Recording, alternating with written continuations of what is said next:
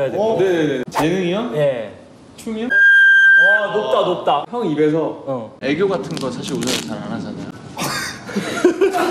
아니 몰입해야지 몰입해야지. 어. 아형 나 배고프단 말이야. 아 싫어.